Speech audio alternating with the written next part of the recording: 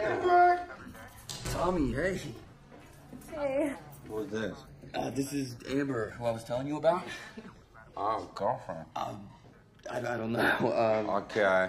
Oh, I don't have time for this. I'm very busy right now. I have to change really quickly and go. okay, is, is everything all right? Yeah, everything great on my end. You heard of Constantin Stanislavski?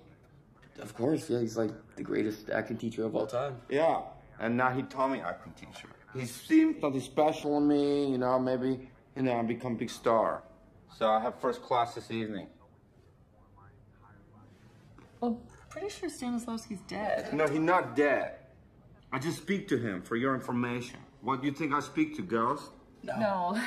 Okay, I'll let you know how it is, baby face. Maybe you can join me someday. Maybe I will. Not so busy. Go, follow.